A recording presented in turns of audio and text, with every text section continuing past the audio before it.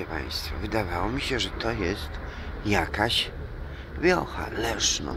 A to ulica taka. I to jakaś bardzo stara, z tradycjami, proszę Państwa. Ulica Leszno. Także zapraszamy do reklamy. 523. Czy E2 może tu przyjedzie? Nic nie widzę, już 520 się spóźnia.